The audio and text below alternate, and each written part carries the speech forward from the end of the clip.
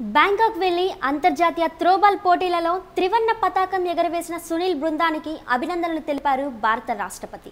Bangkok వెళ్ళడానికి ఆర్థిక సహాయం కోసం అన్ని చోట్ల ప్రయత్నించి ఎక్కడా సహాయం లభించక భారత రాష్ట్రపతికే నేరుగా విన్నవించుకున్నాడు సునీల్.